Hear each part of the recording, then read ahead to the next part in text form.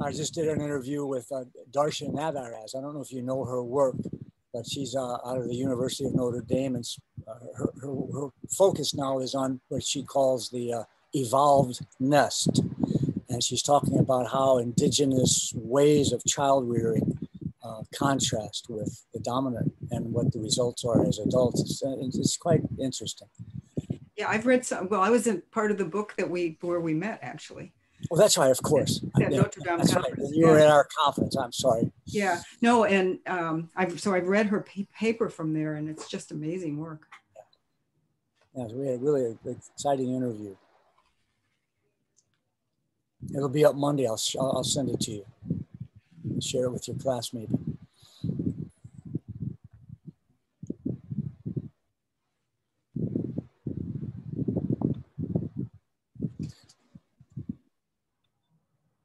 So Erica, do you want to, um, should we think we should wait one more minute?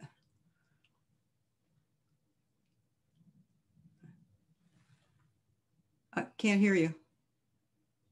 Your voice has disappeared. There you oh, go. Sure. Yeah. We can start whenever you'd like to. Um, I think Michael's here and, and we'll start the recording whenever you say go just a note for everybody, we will be recording. So we'll make the video and recording available. We'll also make the chat available. Um, and that's how we'll talk through some of the, the questions and discussion. Thanks, Erica. Do you want to introduce the whole series and then I'll introduce um, and, and sure. talk about the chat function? Great. Okay, I see that we're recording. Wonderful. Welcome. So nice to see all of you. Um, familiar faces and new. Um, welcome to the Intellectual Shaman series of the International Humanistic Management Association. Um, Sandra is um, leading us today in conversation with Four Arrows, and we'll uh, shortly be introducing him. So nice for you to, to join us. Thank you uh, from Mexico. Is that right? Yes, right here in sunny in sunny Mexico, between Puerto Vallarta and Manzanillo, out, out uh, sort of really in the wilderness. It's a little. The closest fishing village is about ten minutes, and it's all dirt roads. Great. Well, I'll turn this right over to Sandra. Um, we'll be putting some more information in the chat. Um, again, this is an initiative initiative of the International Humanistic Management Association. Um, I think the reason I'm gathered, and I hope many of you are gathered, are really for the greater purpose of advancing the protection of dignity and the promotion of well-being. Um, and to that end, I will turn it right over to Sandra. Nice to see you all. Thanks. Thanks, Erica and Michael. Um, so um, I first met Four Arrows about four years ago at a conference at Notre Dame that we were just briefly chatting about. Um, and we, I, I, just felt like we immediately connected. Um, he is just this amazing person, and I'm hoping that you all really will enjoy his talk today. Um, he is formerly Dean of Education at Oglala Lakota College and a tenured associate professor of education at Northern Arizona University. He's currently a professor with the Fielding Graduate University, where he teaches doctoral students. He was selected as one of 27 visionaries in education for the AERO uh, text Turning Points and is author of 22 books and multiple articles. Um, um, many of them on indigenous worldviews and its application to education, sustainability, wellness, and social justice. He's a recipient of a Martin Springer Institute for Holocaust Studies Moral Courage Award for his activism on behalf of indigenous peoples. And his book, Teaching Truly, a curriculum to indigenize mainstream education was selected as one of the top 20 progressive education books. Two books have been published on or about his work. Um, so he has books written about him as well. He does podcasts often. In fact, he just got off of another podcast. So uh, we're glad we he could manage to find some time to be with us today.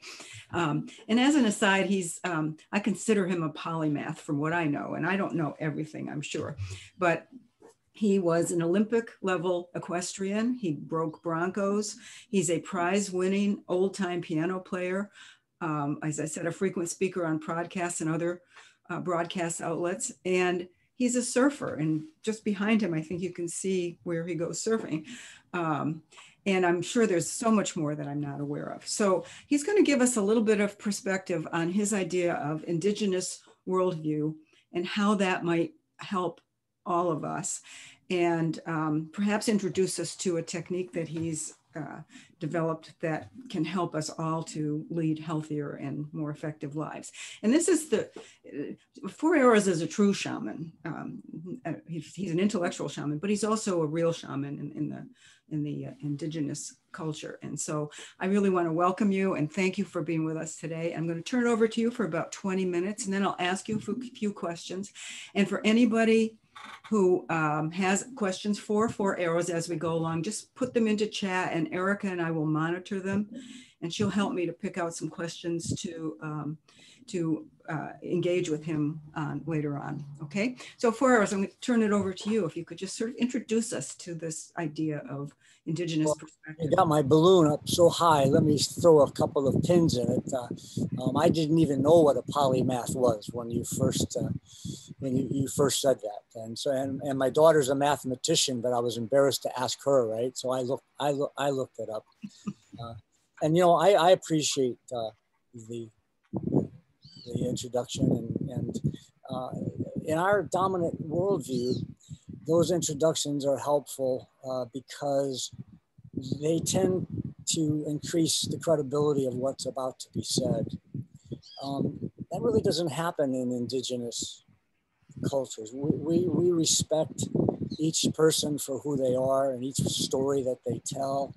Um, and, and in fact, it's kind of looked down on a little bit to, to, to, to put them up on, on, a, on a pedestal. But we are in a hierarchical kind of a worldview and and the idea of authority and the idea of that's what we get doctoral degrees for right is to is to establish that and so i'm not saying it's it's bad or wrong it, it, and it actually works it, it actually increases the hypnotizability of my words if you will to uh, to help people grasp certain ideas and so that they're not saying well who's you know what what what right does he have to, to, to say this kind of thing? So I just wanted to share that. Um, humor is such an important part of indigeneity, and I I know we only have 20 minutes, so um, I don't want to. Uh, you know, it takes me a long time to tell jokes, but they're they're instrumental in, in indigeneity and have helped us survive and we're in tough times. We're, we're uh, I, I, don't have a lot of hope anymore that we're going to move uh, beyond the extinction uh, that we are in the throes of. And, and that's a difficult thing to say. I've only, you know, first time I said it was at UBC last year. And someone says, well, then why are you still doing this work if you think that, that we don't have a very good chance of turning it around? And I say, it's all the more reason to do this work. And and and uh, you know you said it someone said it earlier about this is about protecting dignity. And this is the time to, to display and protect uh, dignity and promote it. And so um, I'm, I, so I, I, not without time to say the whole joke, I decided that I'm to spend the 20 minutes sort of just introducing you to the tail end of three jokes that I like, that I think will really introduce uh, enough to really stimulate some questions from each of you. And so we can get into interactiveness, which is what I like most.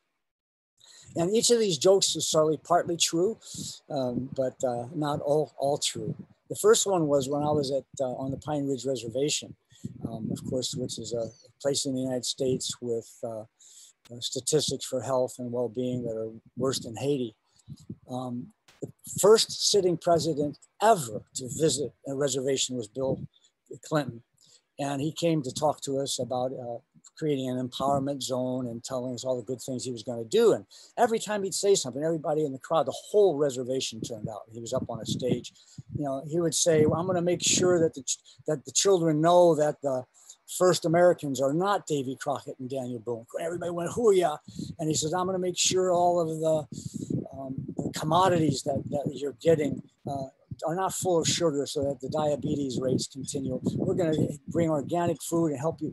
Everyone went hoo-yah. We're going to make sure the roads in the wintertime don't uh, make the school buses go off because of the mud and, and, and slime. Everybody went hoo-yah. He was about, and he went on like that, and the crowd was enthusiastic with Rahuya. And then it was time for him to step off the stage, and he just about stepped into a big cow pie. And a young Lakota boy said, Mr. President, be careful, you're about to step in the huya. And so, you know, um, the, what's the moral of that? Uh, in indigenous ways of being, how we all lived, our ancestors all lived for about 99% of human history, up until maybe eight or 9,000 years ago. Um, the, the self authority was crucial. There, there were the hierarchies did not exist, and when they did, they were what's called reverse dominant hierarchies. Um, truth seeking and truth telling were ways of, of being in and understanding the, the world. Um, uh, and today, you know, seeing through the overwhelming hegemony that still operates, uh, even in, in higher education, is, is, is part of uh, the importance of recognizing the, the huya, right?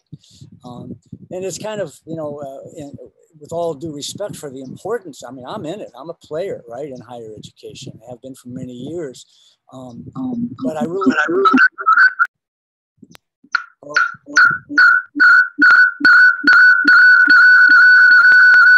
Okay, can you all hear me still? Ellie, I think you need to mute. Somebody nod. Give me the thumbs up if you can hear me. Okay, good. But I just had a really weird. Uh, Somebody's got to mute Ellie. Ellie, yeah. Um, but uh, in any case, um, the second one is uh, about how um, Lakota elder was in the what's called the Badlands by the the, uh, the non-Indian people in, in, Pine Ridge, and they were their two astronauts were were walking around in full gear, and the grandfather uh, sent his grandson over to ask them what they were doing, and they said, "Well, we're preparing for a moon landing."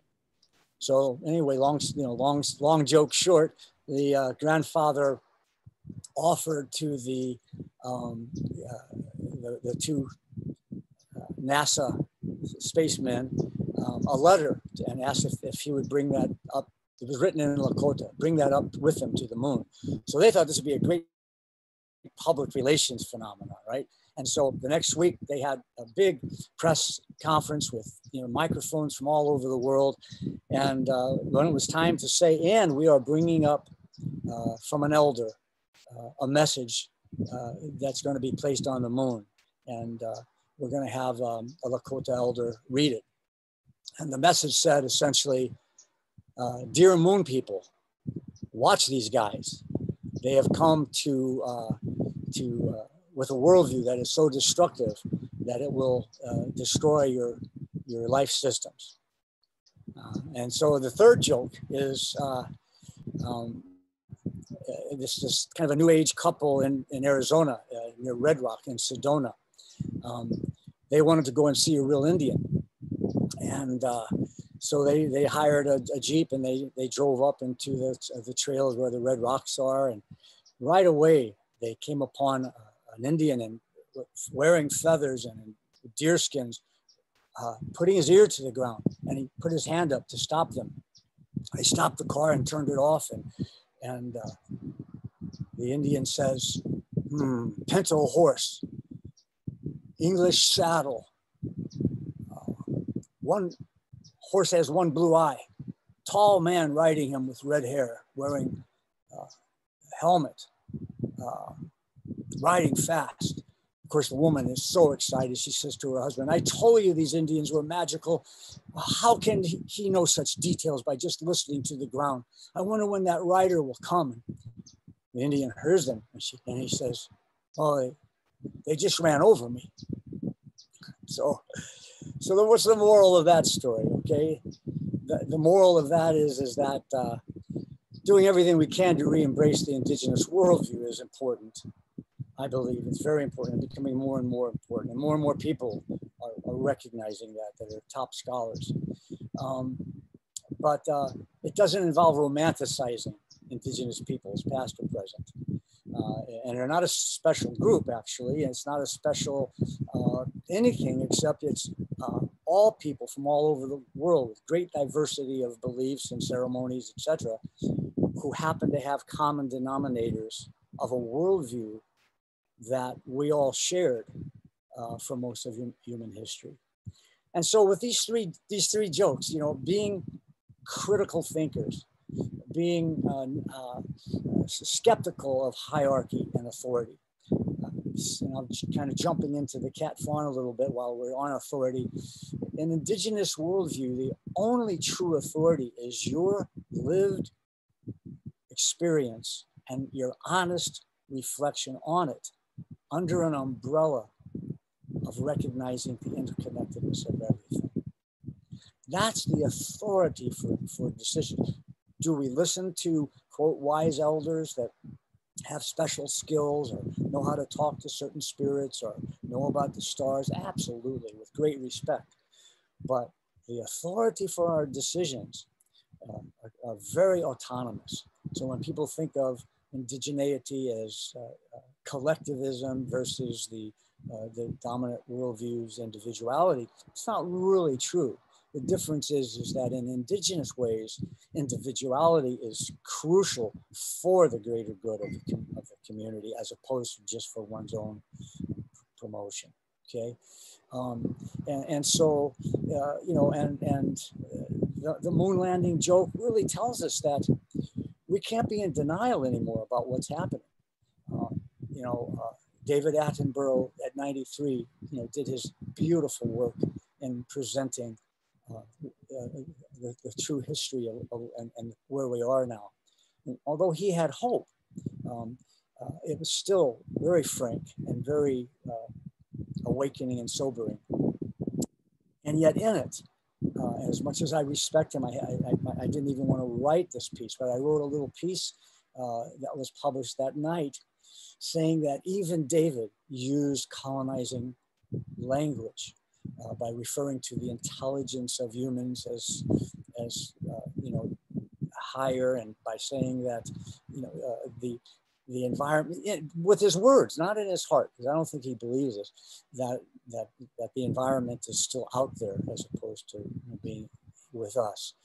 And then uh, again, because uh, it's so it's so easy to new age indigeneity and there's also so many controversies about who can and should teach teach it. Um, I wrote an article for uh, critical education out of the University of British Columbia called um, uh, uh, um, The Indigenization Controversy For Whom, By Whom. Indian country is divided on whether information can come from non-Indian people.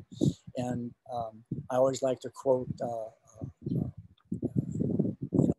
know, a lot of, of indigenous el elders that um, believe as I do um, that like Fools Crow, that everyone is on the same sinking planet and no one owns these ceremonies. Um, and I'll just tell you one little story about that because I know that's on people's minds as well. You know, I'm I don't have any affiliation. I don't want to misappropriate. Uh, that happens too much already. I don't have the, the wisdom to be able to engage in learning how to talk about indigenous worldview. And uh, a little story that, that will show you how Indian country is divided on this. Um, and I'm on the side of teaching it, obviously. Uh, my wife and I were playing music at, the, at a, a school in, uh, on the Navajo reservation that I was a co-founder of uh, on a board.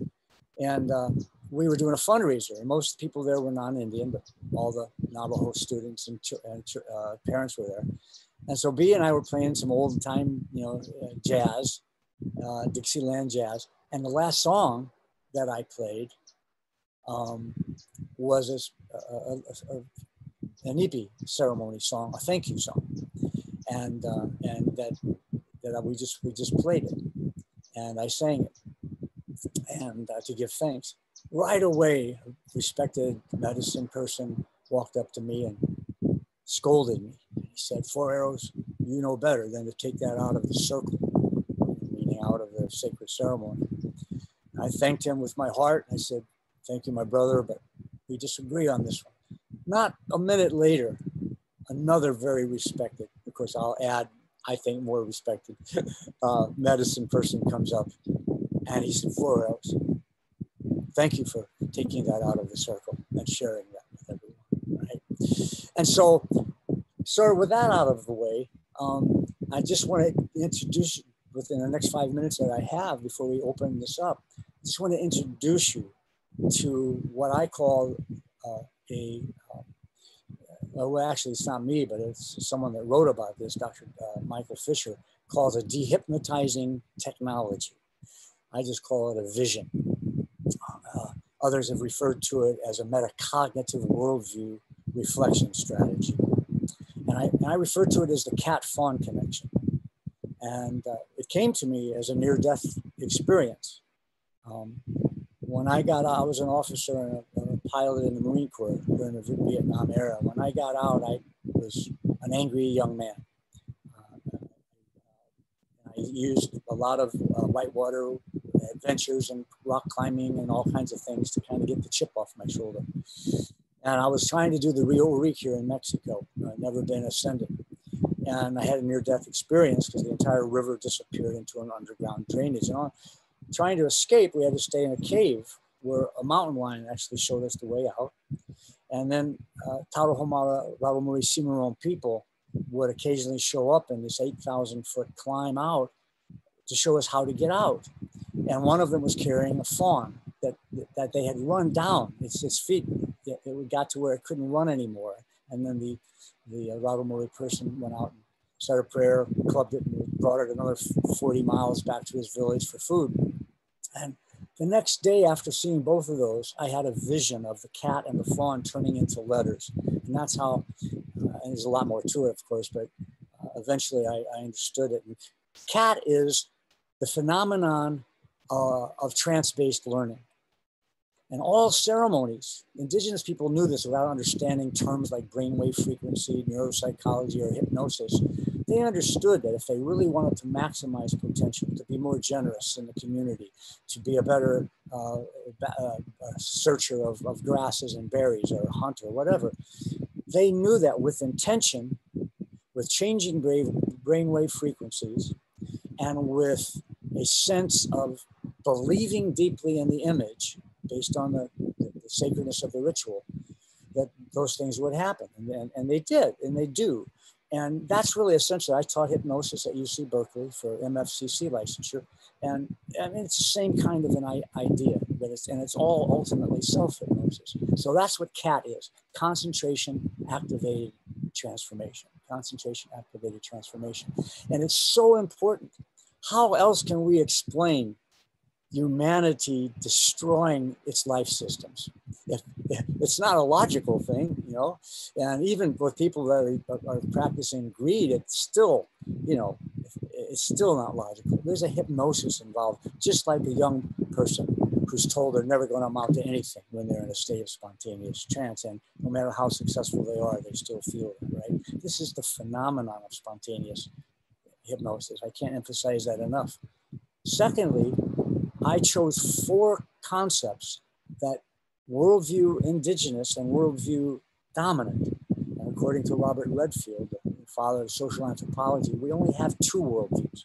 So I know most of you are thinking a worldview is a religion, a culture, a philosophy, an ideology. There's millions of them.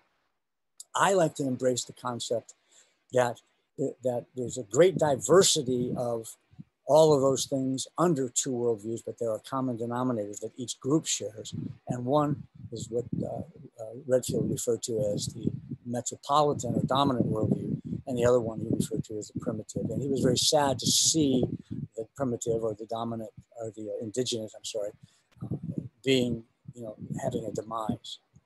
Well, the four things that are very different are how we look at fear, authority, words, and nature for the fawn and noticing how the cat and the fawn are symbiotic. And we know this about nature. Uh, the fawn uh, ways of being uh, in an indigenous are, are, very, very, very different than those in the, in the dominant. And maybe we'll have a chance to mention those in our dialogue, but I think I went over my 20 minutes. So let's turn it over to all of you. I, I, I thought I'd ask you a couple of questions first, if that's okay. Um, and actually i would i would i would be hoping you would share a little bit more with us between of the difference between the dominant worldview and the indigenous worldview okay super and um and, and while i'm doing that why don't you give me the control of the share screen and then i'll show all of the the contrast. Uh, just put it on the screen for everybody. Yeah, I think work? you can. I think you can do that now. Okay, all right. So let me uh, let me start with the fawn. Um, in if I all if I asked all of you and think about it as I'm saying this, when you think of fear in yourself and in the culture that you live in, and in the dominant systems, what's what it, what's the sense you have? What's the feeling? What how would you talk about it? Right? What we've learned and I say we because there's a number of researchers that I've borrowed from in different interdisciplinary fields, is that we don't like fear dominant worldview. Fear is something to avoid at all at all costs, sort of. And I'm talking about after the fight or flight mechanism that's natural for fear. You know, a truck's coming at you or a lion, and you got to decide. I'm talking about the kind of long-term fear that we all uh, uh are, are facing. For example, with an imminent extinction phenomenon. Well, in indigenous cultures, and, I, have seen this, and I've lived with three or four uh, cultures that have not had access to hardly at all to the Western way, and I've studied many pre-contact in my doctoral research. Fear is, once fight or flight is over, it's an opportunity to practice a, a virtue and, and the universal virtues, you know, and all of the work on character education and moral education are generosity, patience, courage, honesty, fortitude, humility, right? And and so so and I, imagine, and this is a story I told the students. It just it came, it came to me just then. I'll say again. Imagine you are out hunting uh, for berries in a, in the wilderness, and a grizzly bear uh, mother shows right up in front of you in the trail. You know you can't fight or run. And so now think of it from your dominant worldview. I mean, most of us in the dominant worldview are going to just, you know, pee in our pants, so to speak, right? We're going to just be so frightened and we're going to put out that odor of fear. We're not going to know what to do. We're going to scream, cry, pray, whatever it is. Think about what it would be if you said, hmm, okay, this mother bear is pawing the ground and I, I can't outrun her. I'm not going to fight her. Well, what virtue have I been working on? Hmm.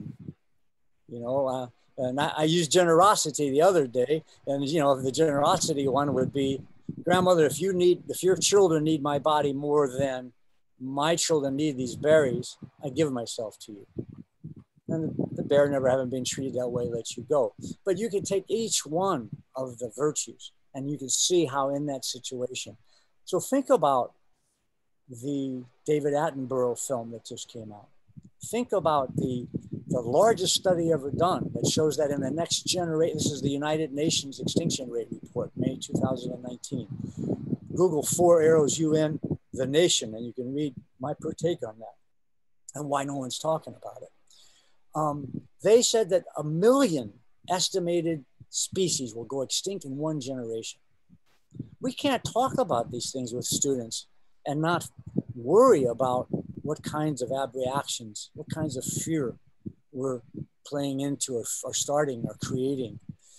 And yet we have to talk about them. And, and, and so, how wonderful if we could teach our students okay, you know, how do we work on on, on, on, the, on the respectfulness, that dignity, uh, and our, our, our, our spiritual beings that are in our bodies, and how we continue somehow. We don't know how.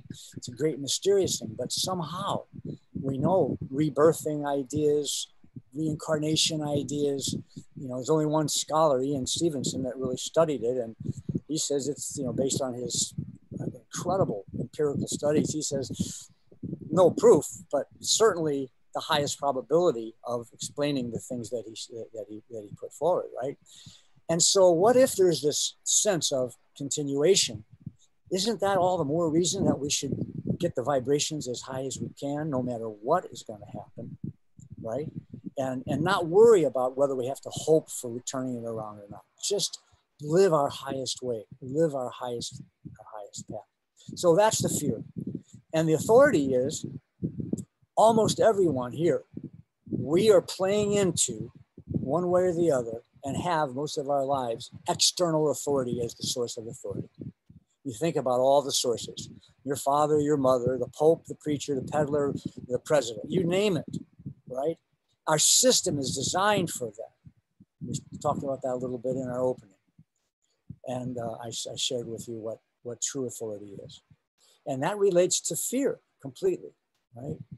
And it also relates to from moving to, from courage to fearlessness, which is something that I mentioned to the students um, that I can talk about if you're interested. Then words. Words, all you got to do is look at the epitome of what's happening with Donald Trump and his administration and many others in the Democratic Party and many salesmen and on and on and on.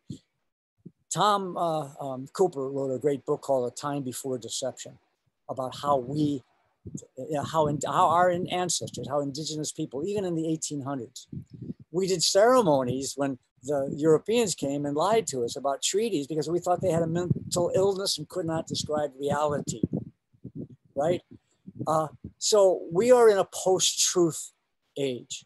Even little children, even little children are using deception to avoid any consequences they perceive or whatever, right? And uh, and so very very different. And now it's it's harder to do in, in European languages like the English language. It's it's harder to be completely truthful. Why is that? It's because our original languages were motion and growth and change oriented. They were verb based languages, right? And, and, and, and, and, and to describe an oak tree, you'd have to know what time of year, what kind of animals are in it, is the wind blowing? It's very much more complex. And so it's so easy to categorize, even if we think we're telling the truth, we're only, we're, we're, we're lumping so many multifaceted aspects of the truth into that conclusion that it's really not the truth. So what do we do with that without learning and speaking in, in indigenous languages? In English, we just work really hard to understand what Kipling said when he said words are mankind's most powerful drug.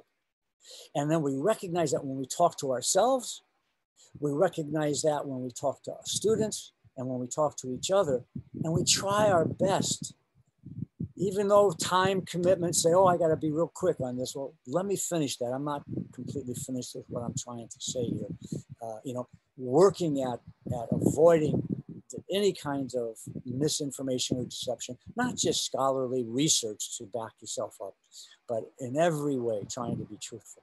That's very different, right? And moving into an indigenous worldview that combines this idea about fear, authority, and, and words really makes it much easier than you might imagine. And then the fourth one that I have, have offered is nature.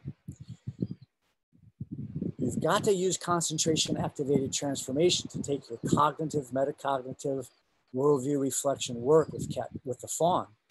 You're not going to, with willful determination, transform yourself so that the next time you're talking to somebody, you, you know, you actually implemented it the in vivo exposure is vital to go out and do this right afterwards. I hope you all will practice it right after we're done. That's when you do your self hypnosis, which you can do in two minutes. You can do it with, with a pendulum. You can do it by imagining your arm lifting up.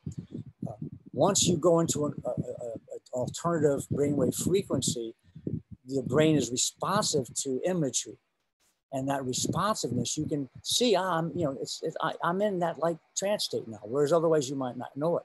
Because imagining something while you're in beta doesn't really accomplish the automaticity that we're looking for to do things like lowering blood pressure, stopping bleeding, let alone being able to transform the old belief systems about fear of public speaking or whatever. Nature is the missing link in combining the worldview and the, uh, let's call it self, self-hypnosis or trance learning. Nature is the missing link because in nature, the vibrations and the memories are such that they bring you into the, in, the dominant way of being that we practice for most of history and the naturalness of the use of the trance. And it doesn't have to be going out way into the wilderness. Like, I mean, if you see where I'm at right now, you know, I'm, I'm surrounded every place you can see around me is just wilderness. I, I choose that, but not everybody can do that.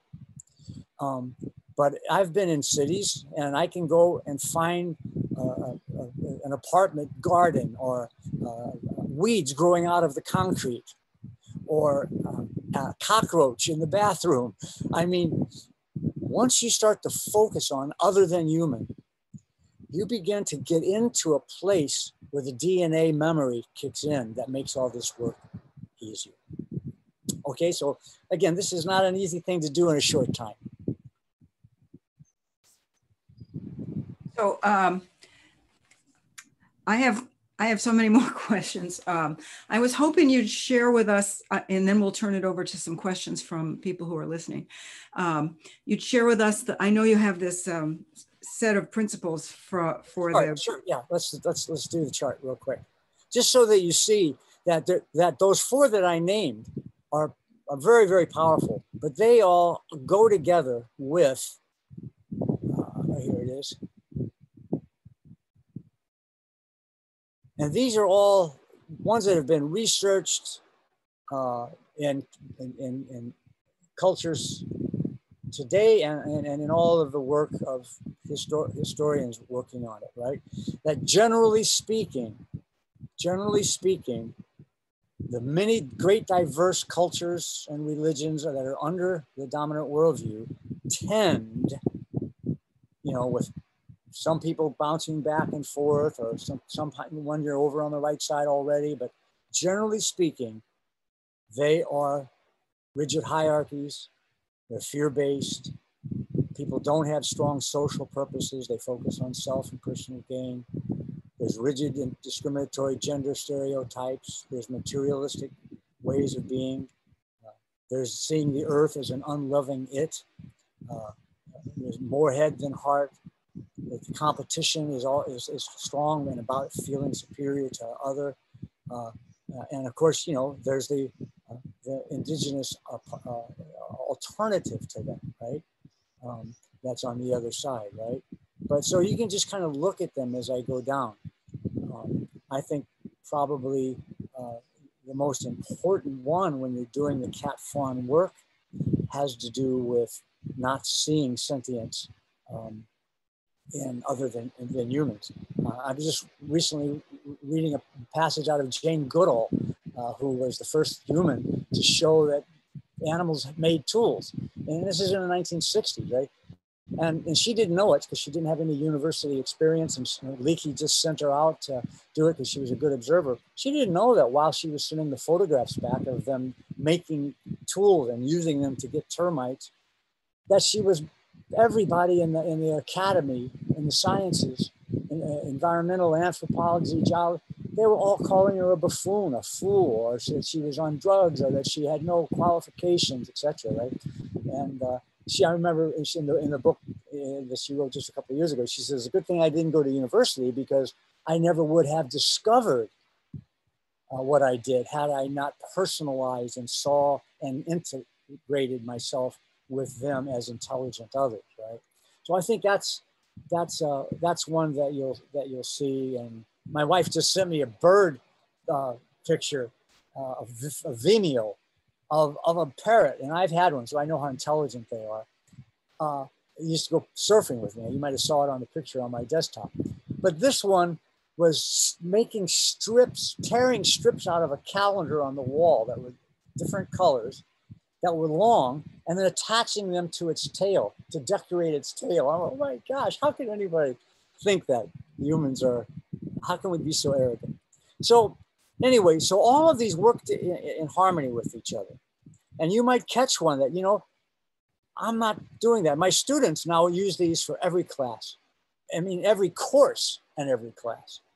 And uh, the, the regular use of them and looking at whatever problematic, whether it's systems thinking or organizational development or whatever, we someone will come up and say, you know what?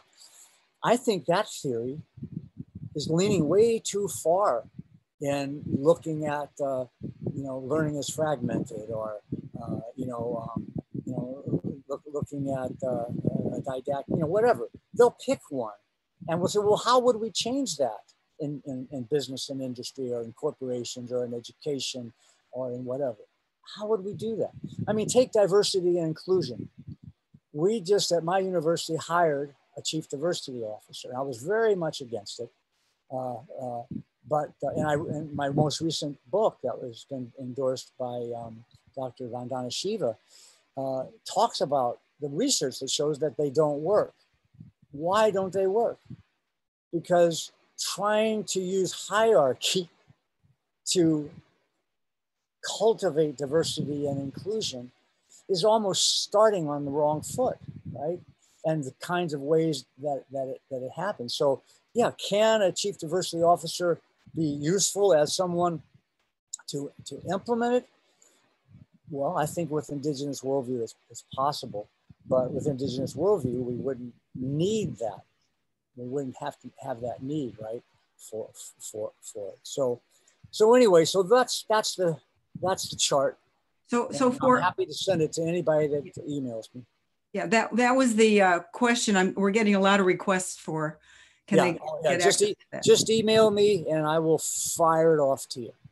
Um, or you can do that. You you've got it too. Uh, if you want uh, to to email Sandra, you have have my permission to share it. Yeah, I'm trying to remember. If you could send it to me again, that would be. I great. sure will. Yeah. Sure will. So that we have a number of questions, and I think um, Nathan Victoria, would you like to ask your question?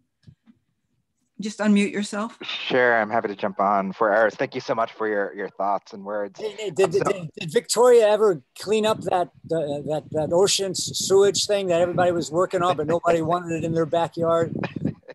Can't promise. Uh. Other people related to me. Um, so I'm a doctoral candidate at the George Washington University in Human and Organizational Learning. Um, and I'm specifically looking at how racially minoritized volunteer leaders navigate whiteness in their professional associations.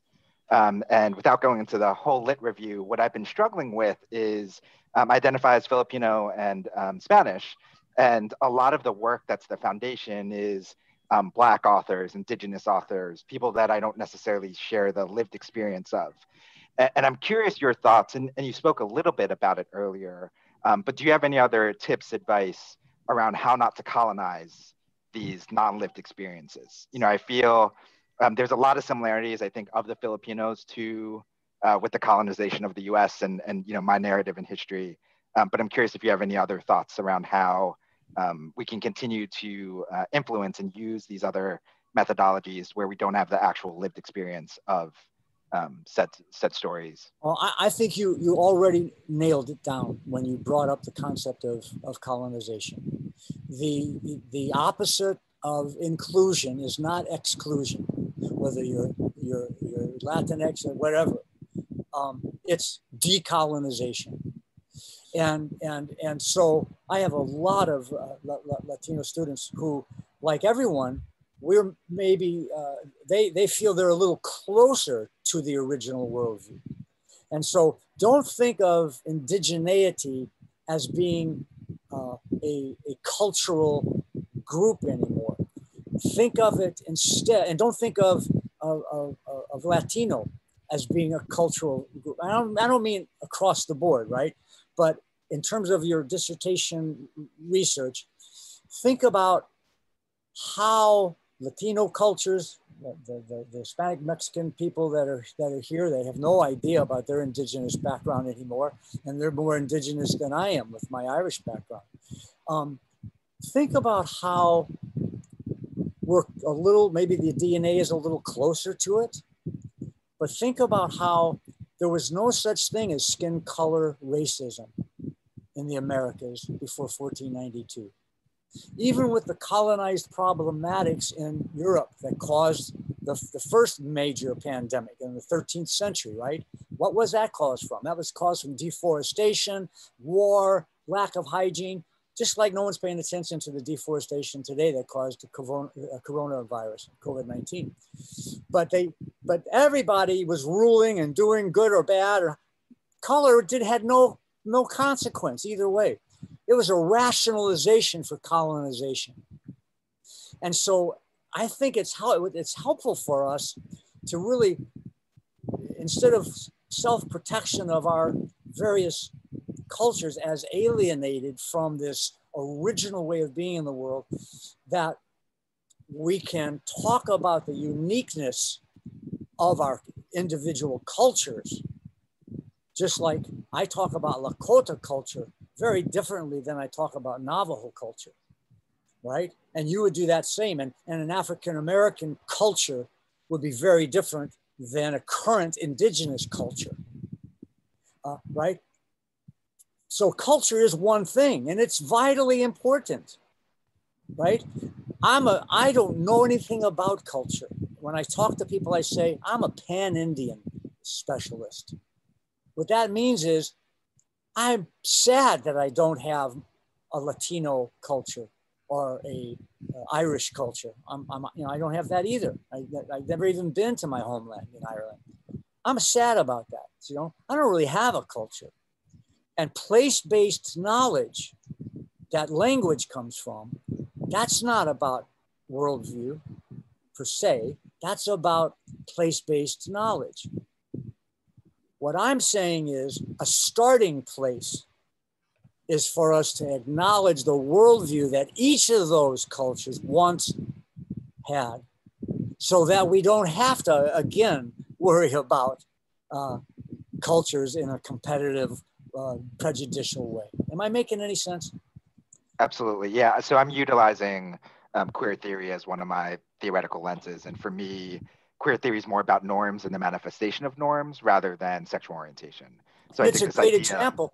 It's yeah. a great example because if you go into cultures, and even indigenous cultures who have been colonized, even people I know who speak fluently, this is why I said this is everybody's game. They are coming up with uh, bias against, uh, uh, uh and it's like no, no, no, that isn't how it originally was. It's just that's the, even the language has got colonized, right?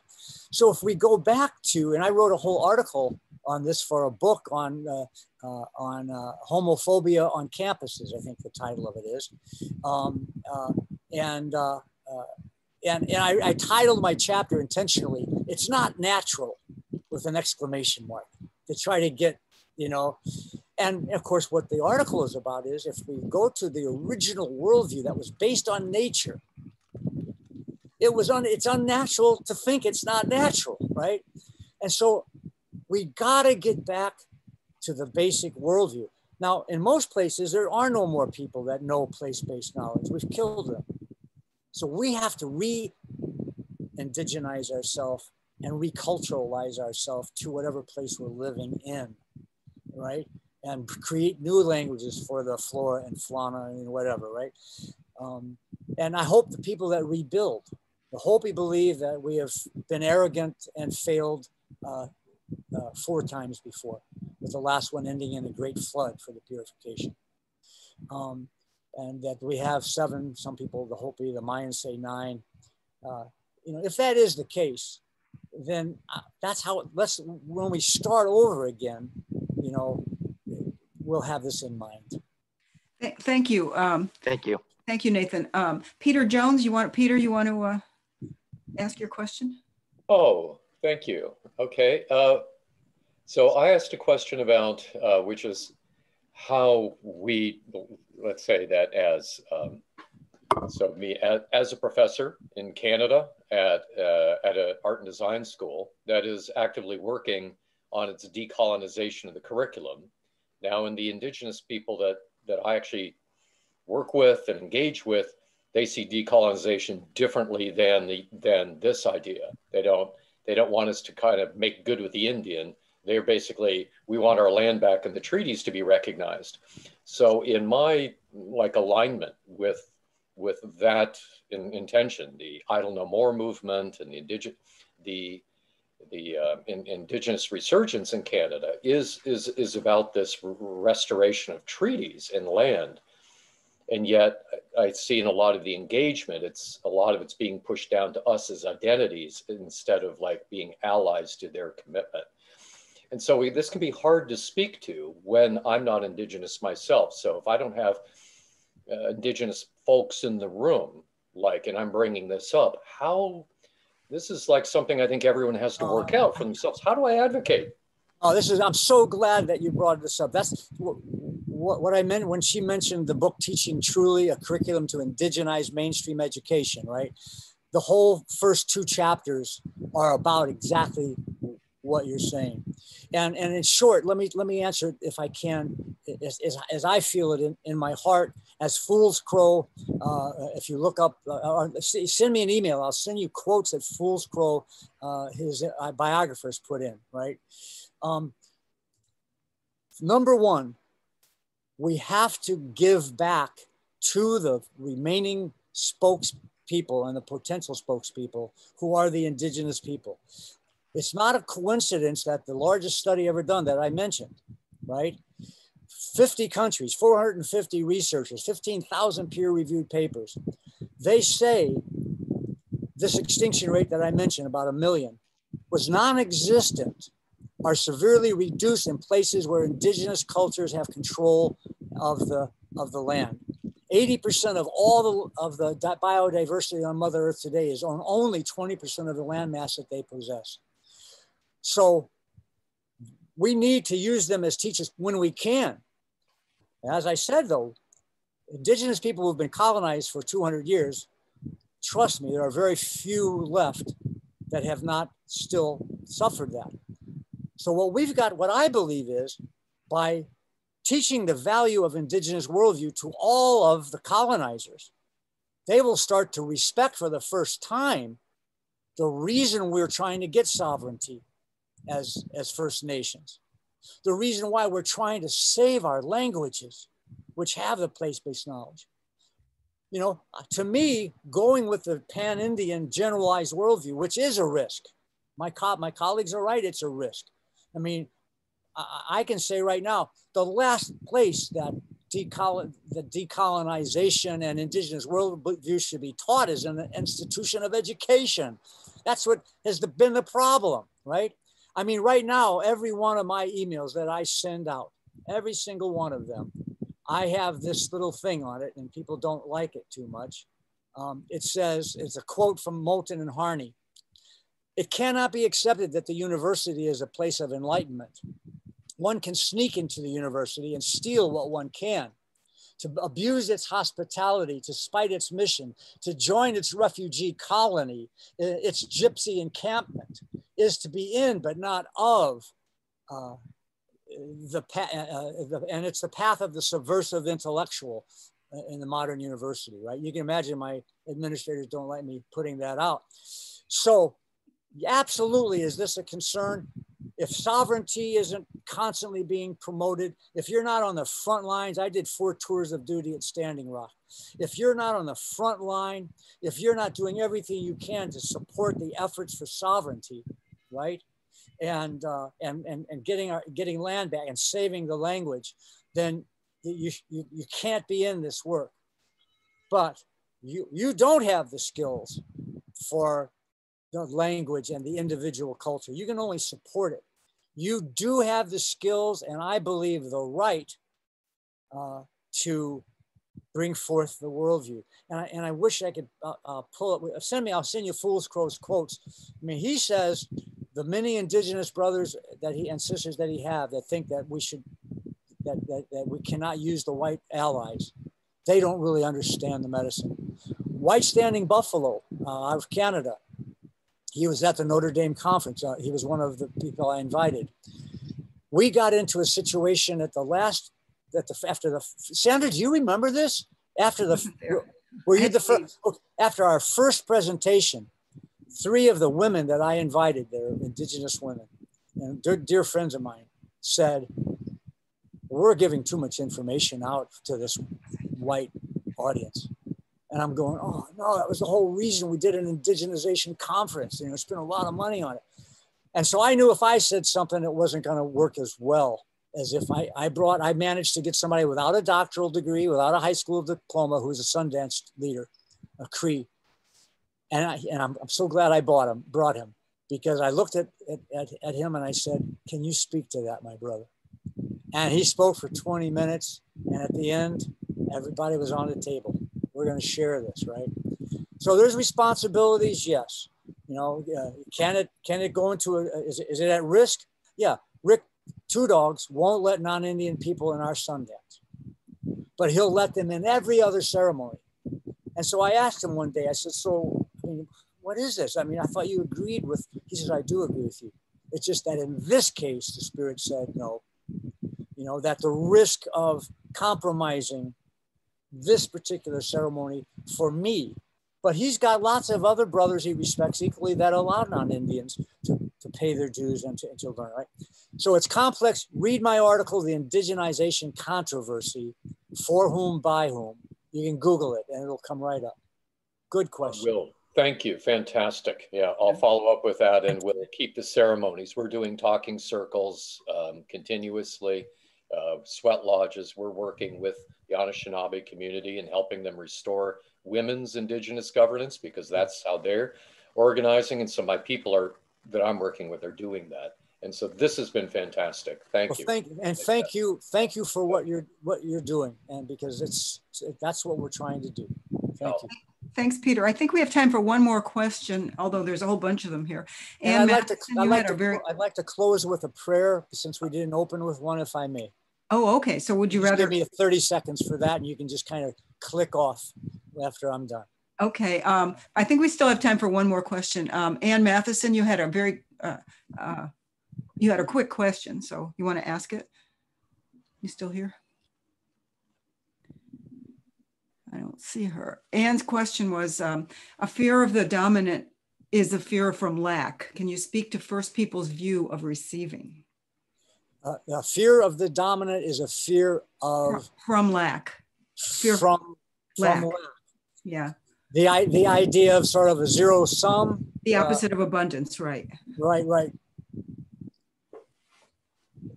This kind of gets into the idea of of, of respect for what we call natural resources as relatives, not as natural resources, but as relatives.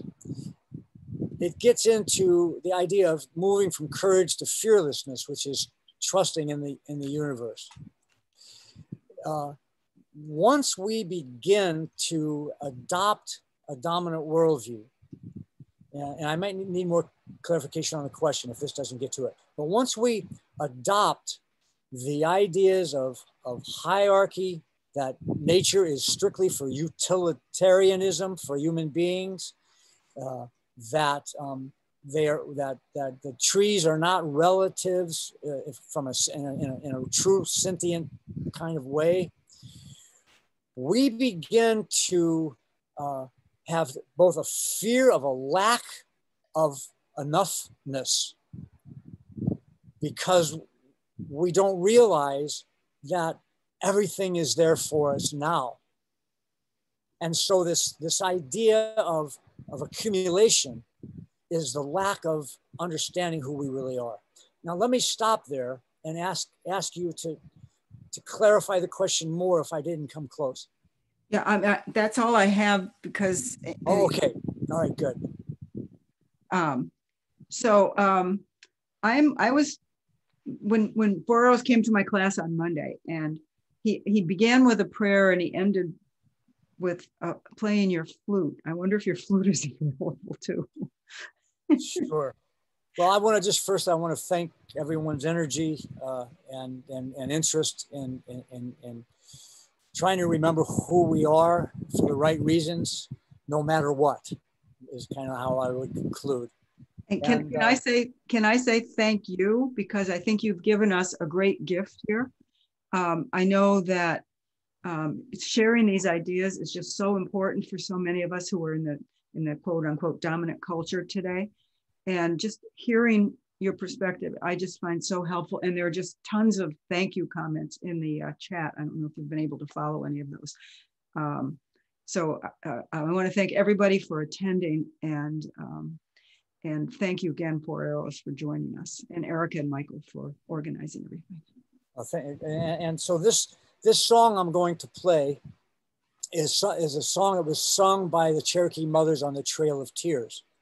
And if you can imagine that being sort of equal to what we're facing now, um, know that the words, which I won't be able to sing while I play the, the flute, and I don't do them well anyway, uh, are saying to the child, but did you see the beautiful animal shapes in the clouds? Did you see the dancing grasses in the prairie? Did you hear the beautiful songs of the meadowlark?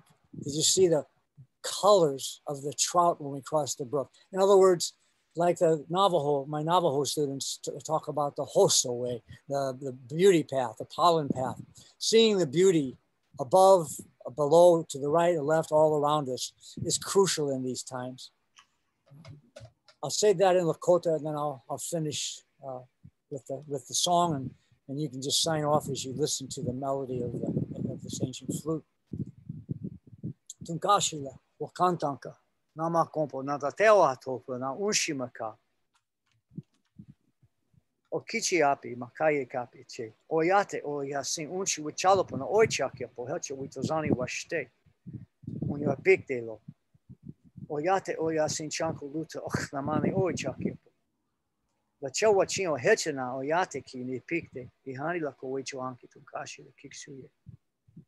Tako yasu.